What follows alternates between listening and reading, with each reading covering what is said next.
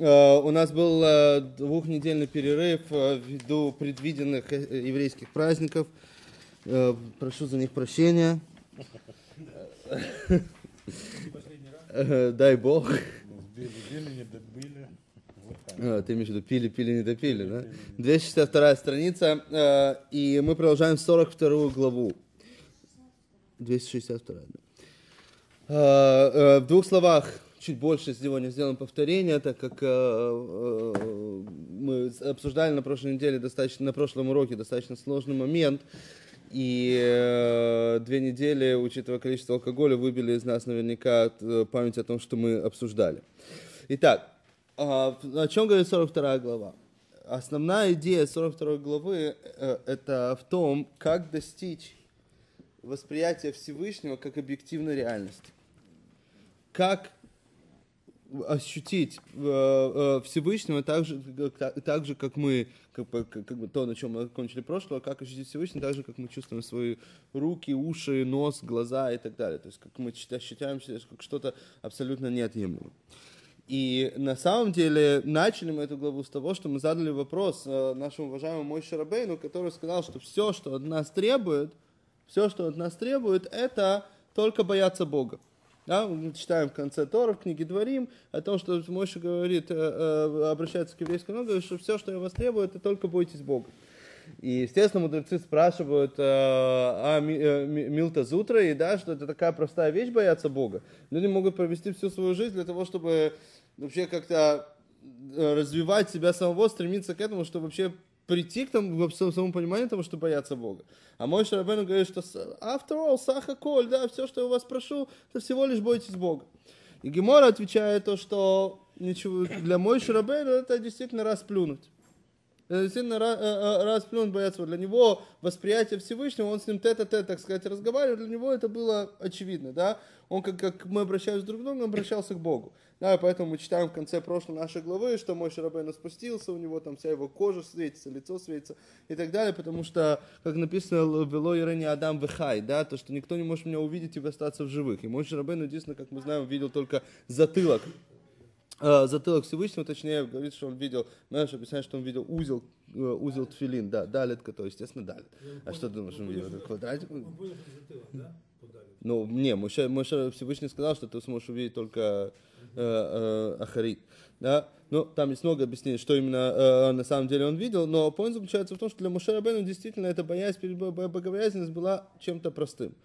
И э, это ответ, который доставит, устраивает Гемору. Для Алтаребе, для автора этой книги, этого нет, это недостаточный ответ. Он говорит, да, это э, действительно для Мойши Рабейну это очевидно, что бояться Бога это ерунда. Но, но, говорить о том, э, э, э, он-то обращается не к себе самому, он-то обращается к еврейскому народу.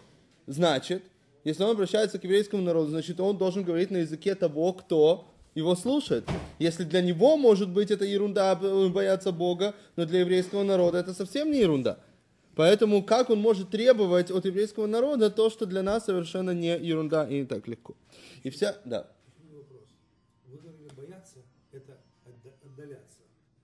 Любить приближаться. Боязнь, боязнь это установка расстояния.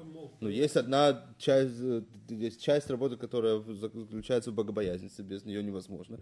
И если включается в как сур, то, к чему мы приходим в конце этой главы, это сур мира, работа значит на сур мира асетов, да, то, что написано в Таилим, что даляйся от, от зла и делай добро. Это, может быть, э, общие фразы, но э, имеется в виду, что сур мира, отдаляться от зла, это имеется в виду все запрещающие заповеди, которые запрещены, потому что это нехорошо, да, и может быть больно очень потом. А делать добро это повелевающие заповеди, да, за невыполнение повелевающей заповеди это наказание совершенно другое, по некоторым вообще нет наказания, но мы бесспорно не говорим о наградах и наказаниях, не об этом, не об этом идет речь. ошибка в переводе, не удаляйся, а дистанция, это разные вещи. Ну... Потому что трепет это дистанция. Трепет это установка это не дистанции. То, что ты хочешь Нет, имеется в виду, имеется, э, окей, имеется в виду не то, что ты будешь далеко от Всевышнего, имеется в виду, что установка дистанции, помните, мы говорили о уважении, об ответственности. Да? Имеется в виду, когда ты устанавливаешь дистанцию, э, это э, значит, что ты принимаешь на себя ответственность выполнения желания Всевышнего. Да? То есть ты входишь в серьезные взаимоотношения со Всевышним. да, как мы приводили в прошлой главе, о том, что э, если нету боязни, если нету трепета перед Богом, боязни Всевышнего, то это флирт, это не любовь. Да, любовь без, э, без боязни не может быть. Для того, чтобы были серьезные взаимоотношения, должна быть установлена дистанция, да, и должна быть установлена близость. Это все должно быть находиться в балансе. И это наши взаимоотношения с Всевышним, которые строятся на этом балансе, который мы называем кавано, если мы вернемся еще на 20, э, там, какую, то есть на, на 29 главу, когда мы начали только говорить о каване, о том, что кавана состоит намерение, наше выполнение заповедей состоит из двух частей. Любовь и трепет. Так, теперь это то, что сохраняет баланс наших серьезных взаимоотношений с Богом. Так? И э, Алтареба говорит, как же нам достичь того, для того, чтобы понять, что значит мой Шарбен говорит, что бояться Бога это ерунда. Да, бояться Бога это доступно каждому. Он действительно имел в виду, что бояться Бога это доступно каждому, а не то, что бояться Бога это ерунда. Почему? Потому что именно в этой главе, и мы к этому пришли на прошлом уроке, он доказывает о том, что, и сегодня будем об этом говорить очень много, э, он доказывает то, что бояться Бога, это на самом деле богобоязнь заложена в каждом из нас кем бы ты был там атеистом, пацифистом, и не будем употреблять нехорошие слова, боязнь Бога заложена в каждом. И это основная причина, что евреям не, э, нельзя вылечиться от того, чтобы быть евреем. Да? То есть это болезнь на всю жизнь, это э, хроническая болезнь. Да? Ты не можешь перестать быть евреем, потому что так мы by default, так мы сотворены. В том, что мы боимся Бога. Мы можем это засунуть куда угодно, но это у нас остается изначально. Да? И это то, что имеет в виду Мошарабен. Он говорит, что нам это элементарно. Он говорит, что это заложено в каждом из нас. Это заложено в каждом из нас. Нам не нужно ехать куда-то, искать что-то э, для того, чтобы это найти. Да, есть другие уровни работы на Всевышнего, которые мы, если вы помните, мы говорили о том, что существует два уровня каваны, два уровня намерений, намерений точно так же, как два э, духовных мира, Брия и Осия который одновременно является высшим и низшим ганейдом, который определяется как интеллектуальный и эмоциональный ганейден, интеллектуальный и эмоциональный рай, соответственно, интеллектуальная и эмоциональная кавана, и как мы правильно помним, какая кавана выше, интеллектуальная, эмоциональная или эмоциональная? Абсолютно верно, естественно, интеллектуально. Почему? Потому что эмоционально эти эмоции заложены в нас изначально. И это то, о чем говорит Мушарабен. Мы просто в себе это вырабатываем. Говорим это интеллектуально, кого это что-то уже, что приобретено, это уже изменение своей собственной природы. Это уже... Да, это не для простых смертных. Как мы. Да, дорогой. Э,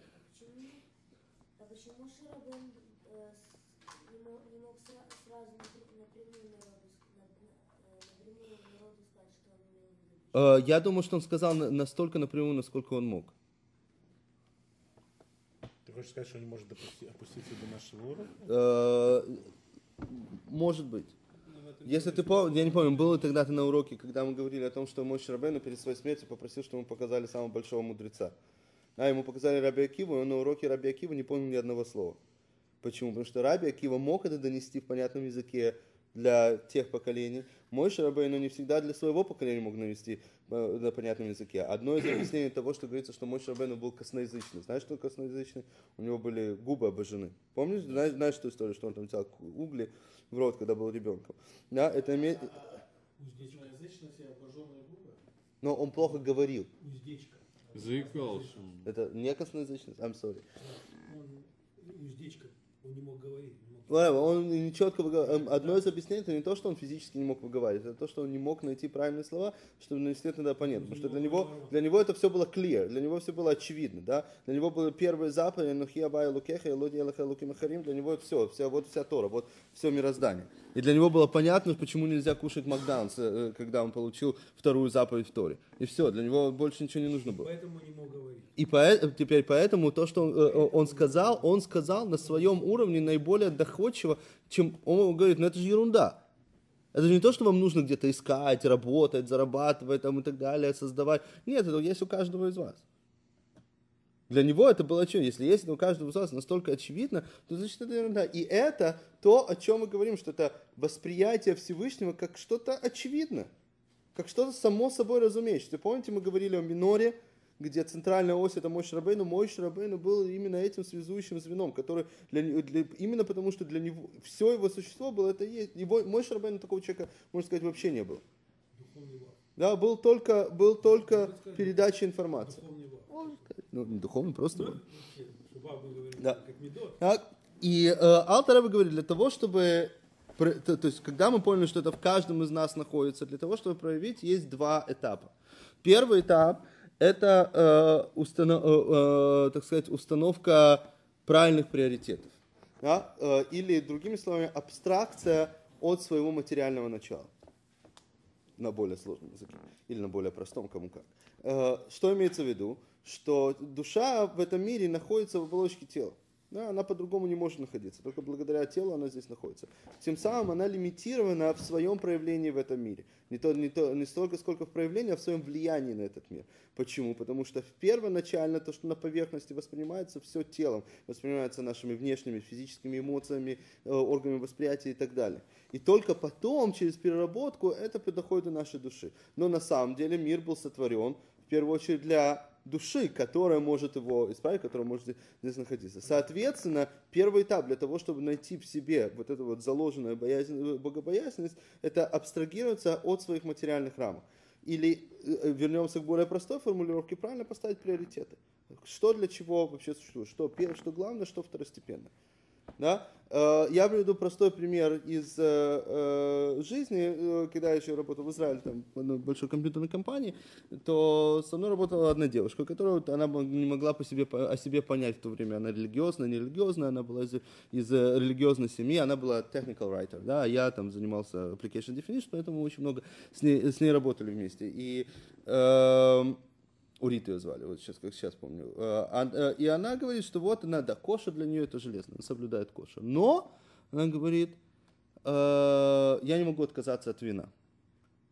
Я пью некошерное вино, вот когда я прихожу в гости или ко мне приносят друзья, я с ними пью некошерное вино. Я ее спрашиваю, а что? То есть я не хотел сразу там ее испугать и сказать, что лучше кушать свинину, чем пить некошерное вино, да? Но э, что действительно, то есть не- нет такого понятия лучше или хуже, но боль, есть очень мало вещей, которые более некошерные, чем некошерное вино. Идолопоклонничество, потому что используют. Так, она сказала, ну просто, а, э, она говорит, что, так, что я не понимаю, нужно ставить правильные приоритеты. Ведь э, э, мы соблюдаем коша, не ну, как бы, что важнее, общение с друзьями или коша? Для меня общение с друзьями важнее. Я говорю, ну какое отношение общение с друзьями имеет к вину? Да, то есть у меня тоже много друзей, и я как бы общаюсь с ними без того, чтобы пить вино. Да, слава богу, если ты... Мы пьем, потому что мы пьем виски, да, я знаю больше. Очень, очень, очень интересно, потому что вино определяет друзей. Окей, может быть, но э, в чем... В бутылкой. Да, э, что, в, чем, в, чем, в чем здесь point? То есть у девушки были неправильные приоритеты. Что, для, для получ- то есть на самом деле, если разобраться, мы потом с ней поговорим, она говорит, что там она подумает об этом и так далее. Но да- даже логически понятно, что у нее неправильный приоритет. Общение с друзьями это замечательно, но вино здесь ни при чем. Получается, что в первый приоритет нам ставится вино, как таковое, просто вино, без связи какой-либо с выполнением заповеди, с кошером, с общением с друзьями и так далее. Это первый этап, о котором говорится. Правильная расставка приоритетов. Что для нас важнее? Да, семья или работа? Ну, неважно. Это, это, кстати, тоже одно, од- од- од- та, же самая, та, та же самая логика, та же система, та же самая формула работает. Так? И после того, как мы смогли абстрагироваться и правильно поставили приоритеты, после этого идет уже то, что э, вне нашей религии, хотя в нашей религии тоже, это называется медитацией. Идет уже работа души. Идет интеллектуальная концентрация на величии Всевышнего. Это все очень странно звучит, но на практике это еще гораздо сло- сложнее, чем это звучит э, в словах. То есть имеется в виду, что после того, как твоя душа как бы имеет больше выход наружу, научиться э, медитировать в данном случае, а это та- то же самое определение медитации в любой религии, кон- в д- течение продолжительного времени концентрироваться на одной идее, на одной мысли, на одном понятии. Так? Полностью как бы э, пытаться абстрагироваться от всего остального. И это второй этап. После, то есть, что делает этот этап? Этот этап строит лестницу, так сказать, для души наружу. Про- Пробой, пробоина прошла, теперь есть лестница. После того, как прошел, пройден этот этап, тогда, говорит Алтаребе, это очевидно, что каждый человек может найти в себе это дас, это да- дат, это знание, это ощущение Всевышнего, а, ощущение Всевышнего как объективной реальности, как это что-то очевидное, ну что, как- что не может быть ничего другого. И здесь мы на прошлом уроке вошли в одну очень сложную дилемму в очень слож, сложный парадокс, который мы сказали на прошлом уроке, ему больше всего внимания уделяется в наших каббалистических книгах. И, как я сказал, если кто-то, вы кому-то пошли на уроки каббалы, и он не затрагивает эту тему, значит, он преподает что-то не то. Основной вопрос, который обсуждается практически во всех каббалистических книгах и в хасидских книгах, во, во всех, это понимание Всевышнего, как э, э, понимание наших взаимоотношений со Всевышним Э, как односторонних взаимоотношений. Что имеется в односторонних взаимоотношениях? Всевышний нас сотворил, Всевышний сделал этот мир, Всевышний нас дал. И все, что происходит в этом мире, оно это происходит под влиянием, не просто под влиянием Всевышнего, это и есть, это и есть Всевышний. С другой стороны, написано, что до того, как он сотворил этот мир, и после того, как он сотворил, он никак не изменился. И любые самые крупные катаклизмы, и самые мелкие вещи никак не влияют на него. Абс- абс- то есть этого как будто бы не существовало. Да? То есть это э, э, одновременно и двусторонние взаимоотношения Всевышнего, которые мы должны воспринимать, что мы выполняем его желание, значит, ему от его что-то колышет, ему что-то от этого, он что-то от этого имеет. Да, и мы постоянно говорим о том, что есть нахас, о том, что он получает наслаждение от того, что там евреи делают филин, о том, что э, там женщина зажгла свечи, о том, что там э, э, э, мужчина там, я не знаю, э, сделал обрезание и так далее. Да, сделал, сделал, сделал, сделал, значит, он получает от этого э, удовольствие, потому что мы выполняем его желание, как взаимоотношения между людьми. Когда ты выполняешь желание близкого тебе человеку, ты, естественно, доставляешь ему э, э, э, тем самым удовольствие. С другой стороны, как же понять то, что по отношению к всему ничего не к нему ничего не существует. Так? Образно выражаясь, на, я сразу говорю, на ответа на этот, на этот вопрос не будет. Да? То есть, э, если кто-то хочет, я, по-моему, в субботу утром перед Шахарисом мы это обсуждали, я э, говорю, что есть маймер, один из самых хри- хрестоматийных май- маймеров в хасидизме Майма Рэб Рашаба от Редата Москву, где он объясняет сочетание между охватывающим светом и наполняющим светом, да, Всевышним безграничным Всевышним, э, и Всевышним ограниченным. Да? То есть вопрос в том, как может быть, если э, Всевышний, он безграничный, как мы можем сказать, что он ограниченный? Значит, это уже не Бог. Понятен вопрос? Да? Или другими словами, этот вопрос нам часто грузят, другим, может ли Бог сотворить камень, который он сам не может поднять? Ответ – да дальше обсуждения не будет, это на самом деле, это на самом деле, на самом деле то, э, э, тот же самый вопрос. И пришли мы к этому, сейчас мы вернемся к тексту, э, из-за того, что мы объяснили, что наше воспри... то восприятие, очевидное восприятие Всевышнего, о котором говорит Алтареба, на котором основывается наша боязнь перед Богом, оно восприятие, оно то, то, точно так же, как э, взаимоотношения между душой и телом. Да? Что душа и тело, мы не можем разделить душу и тело. Да, мы не говорим сейчас о всяком без, как э, там аура, шмаура, бла-бла-бла. Нет. Мы говорим о том, что в еврейском понимании является душой, и то, как она одета в этом теле. И мы знаем, что единственный мостик взаимоотношений между душой и телом в этом мире – это три одежды души. Это мысль, речь и действие. Да? Это единственное, э, как бы, Э, соприкасания, где мы можем увидеть, что есть какое-то расстояние между душой и телом, есть переход от души к телу. На самом деле они абсолютно неразъединимы. Точно так же, как душа полностью ощущает свое тело. Почему? Потому что без него находиться, находиться в этом мире он, он, он, он, она не может. Точно так же тело без души это труп. Абсолютно верно. Точно так же он не может находиться. Вот точно так же, как у души есть очевидное восприятие необходимости и полноценность э, э, как бы всего, что у него есть, у него есть это тело, точно так же у тела есть восприятие души. И мы объяснили, как это со стороны человека, как таким образом воспринимать Всевышнего. Да, я просто приведу последний пример, который мы приводили давно, э, разница между эмоциональной и интеллектуальной любовью. Мне кажется, что достаточно хорошо проявляет, что больше, какая любовь сильнее, любовь к родине или любовь к шницелю. И мы пришли к выводу о том, что, естественно, гораздо более сильная, осознанная любовь – это любовь к шницелю. Потому что, э, потому, э, э, потому что потому что любовь к родине это вещь абсолютно абстрактная. Ты не можешь показать объект своей любви, ты не можешь сказать, вот я люблю вуз, я люблю, да, точно так же отношение к Всевышнему. Наше отношение к Всевышнему должно строиться на осознанном взаимоотношении. Да, вот тот Бог, которого я люблю. Мы, кстати, на последний шаббат, в пятницу мы как раз обсуждали, если не ошибаюсь, эту тему, когда Всевышний Муше попросил Всевышнего показать ему Бога. Да? Я попросил Всевышнего, чтобы он показал. Да, да, да, да, именно так. себя. Ну да. Но он сказал, это замечательно, мы знаем, когда Муше спросил у Всевышнего, Рэб объясняет это, Муше спросил у Всевышнего о том, где Бог, где, где ты, Всевышний, да, покажи мне себя. Он говорит, я везде, я везде. Он говорит, окей, this far we got, да, у нас есть уже Бог, который везде. Теперь покажи мне Бога, который где-то. Так вот это уже тот уровень, о котором говорит здесь Алтареба. Когда мы воспринимаем Бога не который везде, а который где-то. Это, бы, что у нас после этого идет? После, после того, как он попросил, что идет сразу? Заповедь о шабасе, заповедь о кошере, заповедь о праздниках. Посмотрите, в Торе также написано. Как только он попросил, он говорит, пожалуйста, хочешь Бога имей. Дальше. Итак, э, продолжим в те... Э, продолжим в тексте, 262 страница. Да, я посчитал, какая там строчка. Раз, два, три, четыре, пять, шесть, семь. Се- Седьмая строчка сверху, Бог, я обязательно должен Второе сказать. слово. В, в очередной раз ту историю, которую я, по-моему, на Пуриме Пурим? рассказывал про своего одного друга, то, что сейчас Бог сказал, что я уже второй год имею. Если кто был у меня дома, то я рассказал про одного своего друга, который сейчас религиозный человек, но он пришел в Одессе в 91 году, мы его из еврейского лагеря привели, э, который в Пурим лежал головой в тарелке, пьяный, и, и плакал. Спросил, чего ты Хайм, чего ты плачешь? Его Хайм звали. Он говорит, я уже третий месяц жду Машеха, он все не приходит. Вот так это уже, уже, уже два года.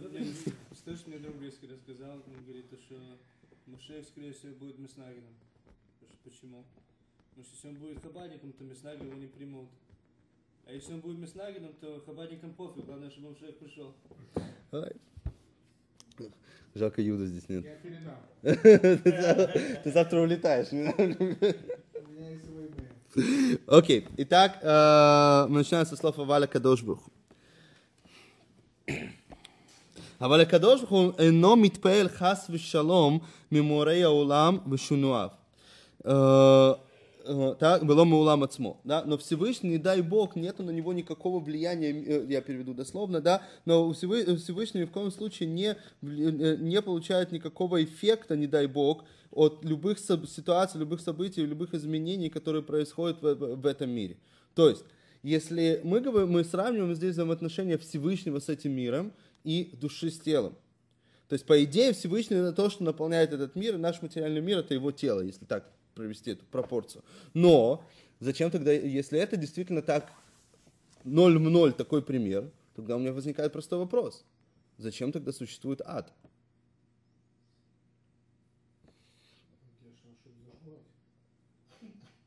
Что говоришь?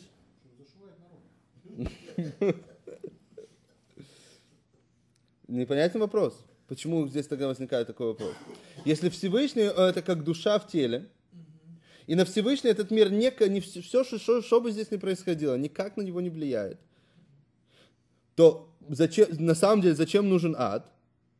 Ад это осознанно, это не очень хорошее место, действительно, в в полном смысле этого слова, да, которое про- приводит нас в порядок, так сказать, перед тем, как мы попадаем в рай. Потому что без того, чтобы там причесаться, помыться и так далее, мы, как сказать, в рай не пойдем. Но если душа это так же, как Всевышний в этом, э, в этом мире, то и, на- и по идее тогда все, что происходит в этом мире, никакие грехи, никакие наши нехорошие там, дела, поступки, мысли и так далее, они не должны никак влиять на нашу душу. И тогда не нужен ад. Но весь point же того, что спускается душа в этот мир, для того, чтобы она, наоборот, вы- возвысилась на высший уровень. Замечательно, но почему это как-то должно влиять в плохом, плохом смысле на душу? Тем более, что ты сам говорил, no matter what we do, евреи в ад не попадают. Евреи попадают, но там не остаются. Я не говорил no matter what we но я говорил no matter what we мы попадаем в рай. Я не говорил о том, что мы не попадаем в ад. Прошу не... А то мне, знаешь, тут уже мои ученики в школе, мне Алекс танкист рассказал, он после меня проводил у них урок, и мы там, у нас среди мальчик не обрезанный в классе, мы сделали целый урок там по обрезанию, и там обсуждали, а все остальные обрезали. Да, тот маленький дети. Да, и там сидим, говорят, это не бойся, это не страшно, в общем, они ему там грузят ему. На следующем уроке Алик у них ведет там историю или что-то. И о- о- о- но утром мы едем, он говорит, мне там такие-то такие из твоего класса сказали, что ты сказал этому мальчику, что если он до 13 лет не сделает обрезание, то потом придет там какой-то ангел с мечом и отрубит ему там все. Я говорю, Алик, я- ты же меня знаешь, я такого не мог говорить. До Да. 12 лет он что, араб? Э, Anyway, э, anyway, так что, Герри, не надо мне тут э, докручивать. Я уже обрадовался. На какую... Ладно. Дальше. Так, то есть понятно... А? Что, какой ответ? Про ад? Э, э, а, Про ад такой ответ именно потому, что здесь Алта Рэбе начинает эту фразу, да, меня отвлекли. Ответ, он начинает эту фразу с «но». Что это хороший пример с душой. Но ни одна, один пример не может полноценно описать парадокс между двусторонними и односторонними отношениями со Всевышним. Потому что э, Рафштайн сказ- говорил об этом на уроке, о том, что это, э, почему так много посвящено этому литературе. Потому что э, простыми терминами, которыми апеллирует, э, э, оперирует человеческий мозг, объяснить это невозможно. Потому что человек не может воспринять как какой-то, да, то есть мы, мы говорили на прошлом уроке о butterfly эффекте, если вы помните, эффект бабочки, да, в физике, любом матери... в любом описательном, в любой описательной науке, любое действие, оно вырабатывает какую-то энергию. Поэтому понять то, что как мы ничто не меняем в этом мире и одновременно еще что-то делать, это очень сложно. Поэтому говори, Алтареба здесь говорит, что по отношению к Всевышнему нельзя до конца воспринимать, например, с душой и телом. Потому что душа, да, она, на нее влияет все, что происходит в этом мире. Все, что происходит в теле. Все, любой грех, который мы делаем, даже если мы делаем чуву, даже если мы раскаиваемся после него, он оставляет решим, он оставляет отпечаток на душе. Именно для этого нужен ад, чтобы залатать все эти отпечатки. Когда-то, когда-то, когда-то было гораздо легче, с Божьей помощью в ближайшее время тоже будет легче. Это когда был Бейсамикдаш и был, э, была повинная жертва. Потому что вся идея жертвоприношения, она абсолютно не укладывается в рамки этого мира. Зачем? Нафиг вообще там, животных резать? Там, а какой, какой, куда, куда слово смотрит Пета и так далее. Да? И при этом э, э, вся идея этого хатата, вся идея это абсолютно не укладывающаяся в- в- в наше интеллект- интеллектуальное восприятие заповеди, было в том, чтобы в этом мире залатывать те отпечатки, которые оставляли грехи на нашей душе. И тогда ад действительно был бы не нужен. Так? Но со Всевышним это не так. Если человек сделает шоу, как бы, получается, есть что латать, ну, как бы уже незачем, потому что шоу сделал. Окей. Есть э, э, тысячи, если не сотни тысяч уровней чувы. Одно, одно уровень чувы, там, э, случайно бутерброд там, с маслом, с колбасой съел, говорит, блин, зачем это, все больше никогда. Это один вид чувы. Да, может быть, это самый сильный вид шувы, я не знаю. Другой э, вид шувы, когда ты не спишь ночами и там говоришь, я не должен был это делать. Да, вот я до сих пор, у меня есть одна вещь, за которую я переживаю, честно скажу. Да, я, у нас была ученица украинского в школе в Одессе, 119 э, у нее, я Бороху рассказывал, да, я серьезно до сих пор переживаю. У нее была такая болезнь, она была лысая, она ходила в парике. И она меня очень сильно один раз обидела в, в- в- в классе, поставила там мне двойку, выгнала. Я ей потом с, с окна на голову кошку сбросил. И э, э, мне до сих пор стыдно э, за то, что это сделал, потому что я не знал. Я не, нет, я не знал, что она как бы лысая, да, и в этот момент мне было ужасно жутко, я до сих пор это вспоминаю. Ну, заметил. Нет, не знаете, что. Евреи, если, помнишь, мы говорили историю про вора рассказывали? Ты, же знаешь э, главный закон. Нарушение не считается Окей, нарушением, ш- пока, так, если тихо. тебя за него Тихо не сиди. поймали. Так, э, и, э, поймали. э, соответственно, есть шуа, которое то, что мы называем мумка де либо.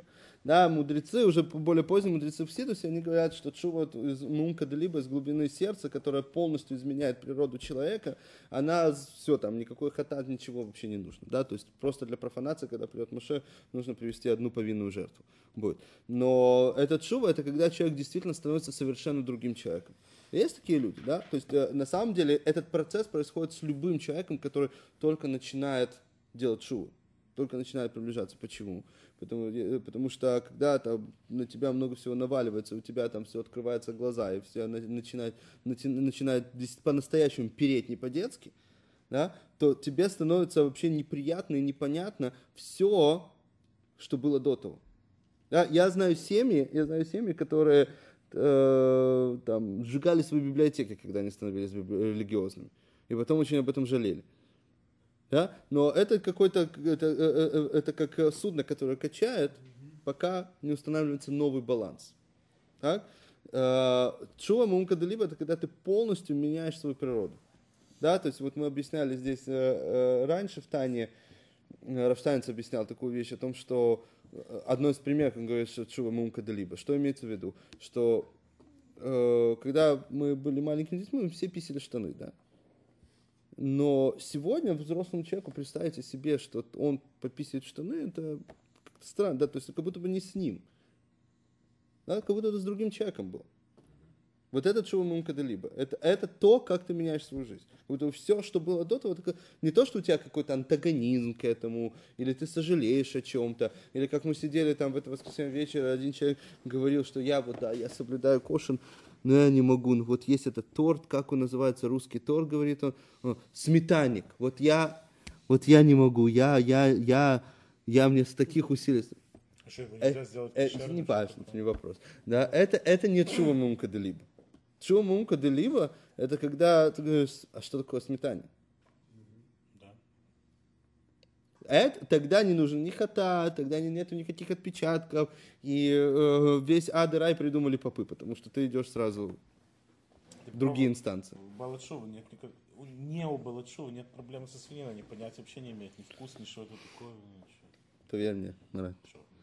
Где-то Балуются? Пусть они так балуются, you know? Дальше.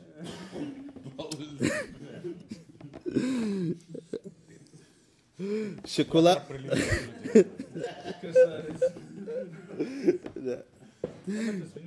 Дальше, дальше, да. Шекулам эйнан пуалим бо шум шинуй хас вешалом, что никакое из ничего, что происходит в этом мире, не влияет э, э, и не делает никаких изменений Всевышним как таковым. То есть, подумайте такую вещь. Э, на самом деле наш мир, он очень хрупкий. Да, и как вы помните, как объяснял Бальшемтов, что такое Ашгоха против, помните, мы приводили это э, с листиком, траектория листа, которая падает, когда Бальшемтов пишет, что если бы Раби Рашаб об этом там говорит в, в Ликута Дибурим, это, по-моему, приводится, когда он гулял со своим сыном, с будущим ребраяцем, он ему рассказывал то, что как Бальшемтов говорит о Ашгоха протис, Ашгоха протит, о том, что, что даже траектория листа, которая осенью падает с дерева, она была так задумана изначально в мироздании.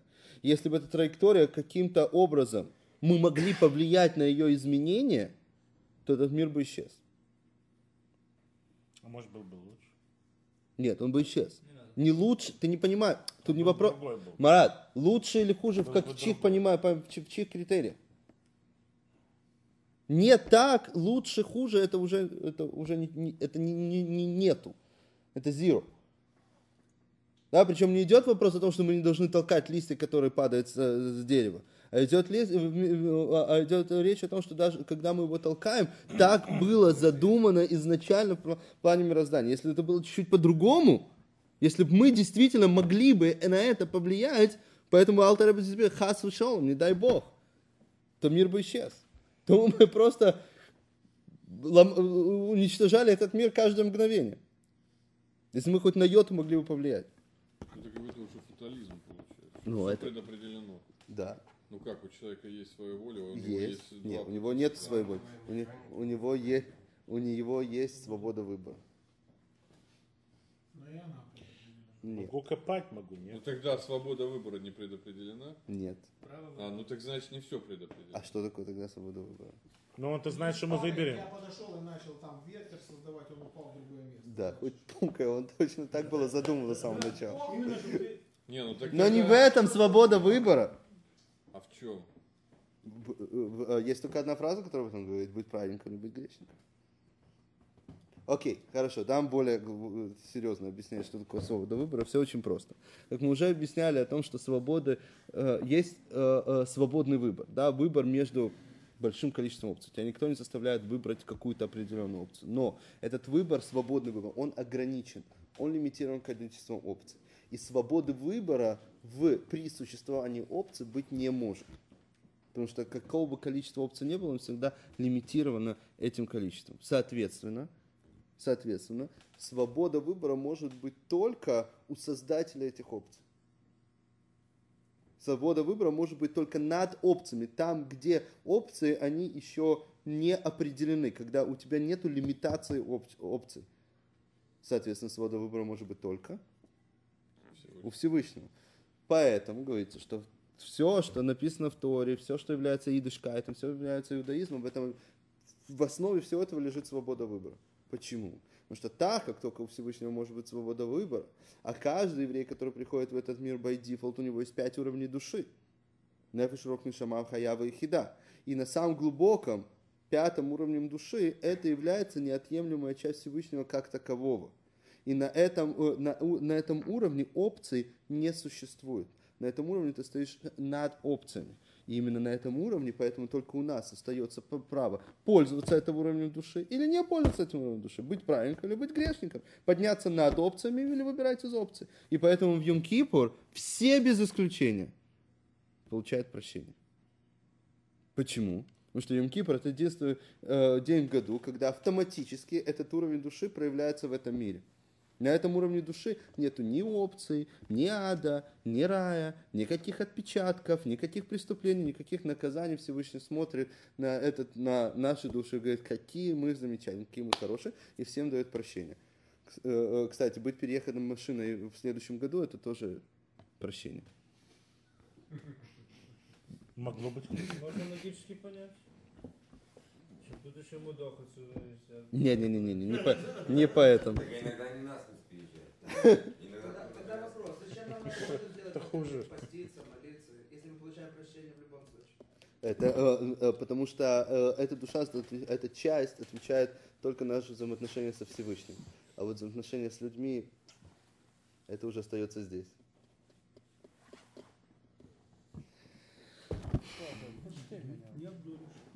Кого?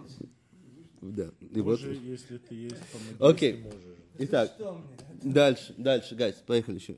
Еще чуть-чуть. Вейне, где ласкил зе хейтев бесихлейну. И для того, чтобы это хорошо понять нашими мозгами, говорит Алтареба. Кваририху хахмей хаймед басифреем. Уже много писали об этом мудрецы, истинные мудрецы, а в, в- Тане, когда говорится истинные мудрецы, писали в своих книгах, мудр- или мудрецы истины, правильно перевести, это имеется в виду в каббалистических книгах. То есть идет речь о, в данном случае идет речь о Рамаке, и Мукубалим Лишуним, и Ариза, и Хаим Виталь, Кто такой Рамак? Раби Мойши Кардавера. Так не говори. Нам сори, в следующий раз. Фонтан Блю, давай. Куда я знал, что не звоню. Да. Ах, коль Исраэль мааминим бней мааминим. Да, но все евреи, они, э, как э, в дословном переводе, верующие, сыновья верующих. То есть, что здесь Алтареб говорит потрясающую вещь. Он говорит такую вещь. Никому не, не дано понять на интеллектуальном уровне, как строятся наши взаимоотношения с Богом. И только евреи, они просто в это верят.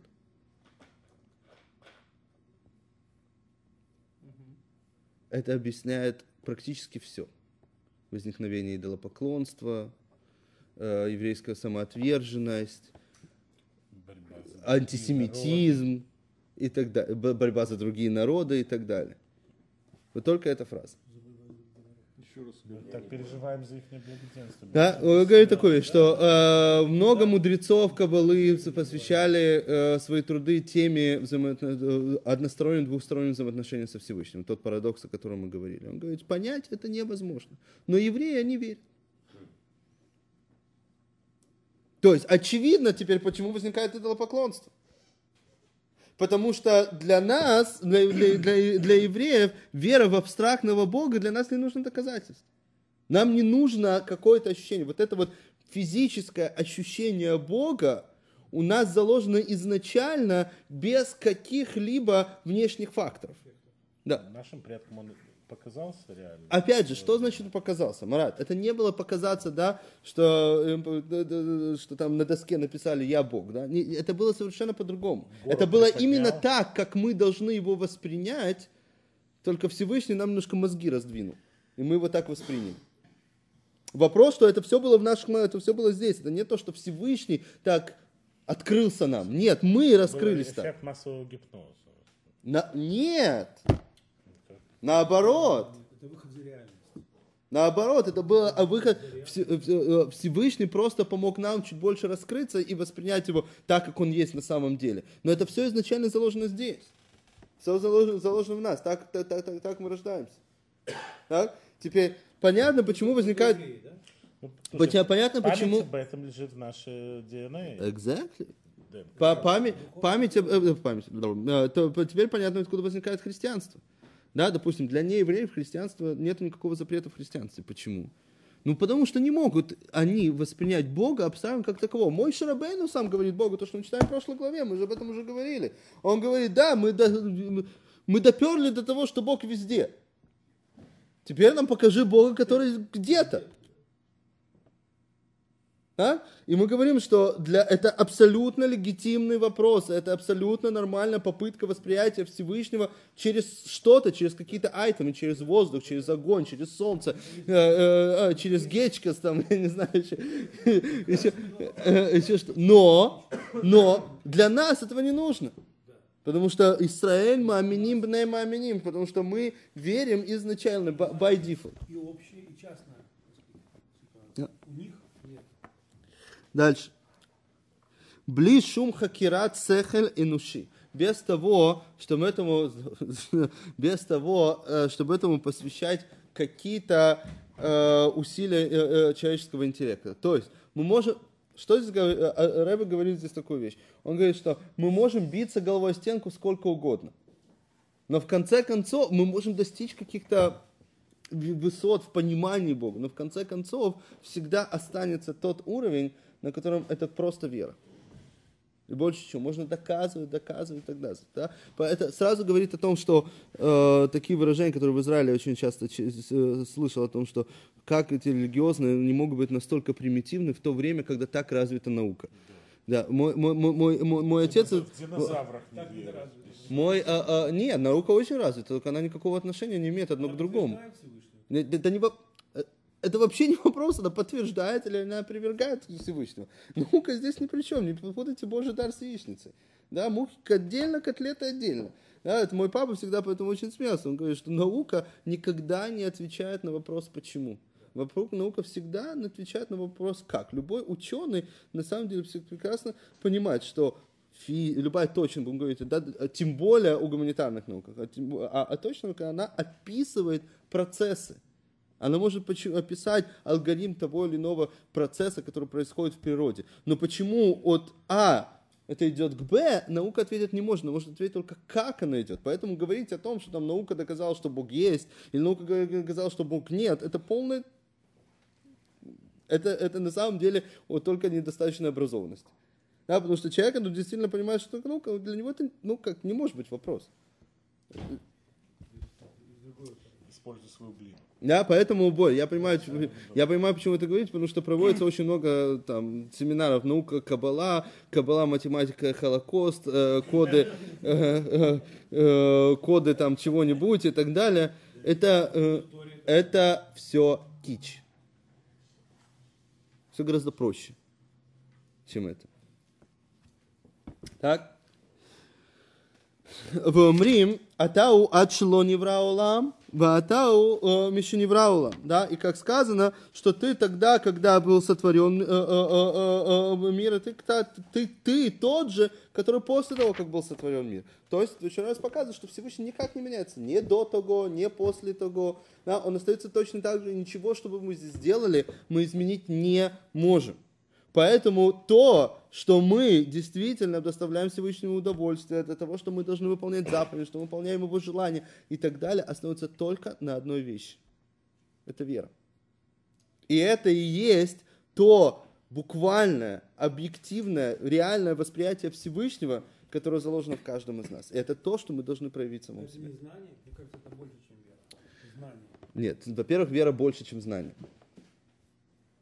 Вера сто процентов больше, чем знание. Любое знание можно либо доказать, либо опровергнуть. Которого? Мало ли. Ты же мне сам сказал, ты же мне сам сказал, когда я готовил, мы сидели с тобой на скайпе, И, и- и я готовил очередной там рассказ про мудреца. Я говорю, слушай, не могу найти там про Лезера Липмана Майсу. Герри мне говорит, да рассказай нам любую Майсу, скажи, что я про Лезера Липмана, мы тебе поверим. Мне придется попросить Всевышнего, чтобы... Да. Так, я, Наоборот, я, наоборот. я, я говорю вслух. Не надо. Реши их всех. Как это набрать? Только евреи, когда еще Что? Где? Здесь много. Вы знаешь, зна- знаешь- много что Здесь, здесь один еврей пришел на Пурим, увидел, сколько народу, и сказал, рыбашер, не, не, нехорошо, слишком много евреев. Шипскебей живет больше евреев, чем на Брайт. Да, сто проц- сто процентов. Шипсбе это самый большой, по переписи населения прошлого, на Шипсбе живет больше евреев, чем в любом другом районе в Америке. Да, чем Да, да. Да. Ну, никто не говорит о соблюдающих, говорит о просто о количестве евреев. Кронайцы живет не так много евреев. Они просто, они просто очень бол. Их практически не видно. Да или? Много евреев живет, знаешь где? Новосибирск. Нет. В пустыне, в этом самом А городе. Витаминов больше всего в аптеке. Там тоже живут много, да. Где, где? В Фениксе, дальше. Да? А, а, нет, там немного живут, совсем немного. Да. Я проезжал. Дальше. Вейне, мы после двоеточия продолжаем. Я не знаю точно, у меня чуть другое издание. У вас на той же странице после двоеточия. Мы на- чуть-чуть начнем, еще через 5 минут до Марьева мы начнем новую тему. Вейне, коладам Израиль и имя е Мише и е. И вот любой еврей, который, кем бы он ни был, кшидбонен безе шагдула, который будет э, э, концентрироваться на этой идее, Идея о том, что кроме, то есть познать невозможно, что Бог большой там и так далее, что все заложено на то, все, о чем мы сейчас говорили. Э, в течение долгого времени, бехоль йом, каждый день, о чем он должен думать. Эхша кадош браху мале мамаш, это ильюним, это тахтуним, это шамаем, это арец мамаш, мале коларец кводо мамаш. Да? Э, три раза говорится здесь слово мамаш, э, перевода его, э, сейчас объясню. Да? А, что, о чем он должен думать? Что Всевышний, он наполняет все высшие, все низшие мира, и небеса, и землю, и, и, и, э, э, э, слава, э, слава наполнена вся земля, весь, весь наш мир, и в конце каждого из этих трех вещей он говорит мамаш. Мамаш дословно перевода на русский язык не существует. Это типа, типа в натуре. Ну, действительно, этого, такого пере- перевода нет. Ну, кроме того, что это аббревиатура Минаха Мандушнерсон, конечно. Да? как угодно по-другому. А? Как угодно по-другому. Да? Э, э, Что имеется в виду? Э, Это именно то реальное восприятие Всевышнего, как объектив, восприятие Всевышнего как объективной реальности, о которой говорится здесь. То есть после того, как мы прошли два тех этапа, о которых мы говорили раньше, говорили, повторяли в начале урока. После того, это, то э, по- э, э, э, по- после этого мы, когда мы выработали в себе вот это вот э, восприятие, реальное восприятие Всевышнего, мы должны пос- после этого еще посвящать каждый день достаточно долгое время, здесь Алтаров говорит, дальше будет легче. Вначале, очень долгое время мы будем говорить об этом на следующем уроке, для того, чтобы понимать, что не только мы воспринимаем, не только мы нашли там какой-то клад, и мы воспринимаем Всевышнего как, как объективную реальность. Нет, он объективная реальность для всех. Он объективная реальность, которая наполняет все высшие, все низшие мира. Весь рай, и ад, и ады, и раи, и все, что угодно, и, и небеса, и землю, и небо, и весь этот мир. И все, что происходит, это мамыш, мамыш Бог. И ничего другого. На этом мы с вами закончим.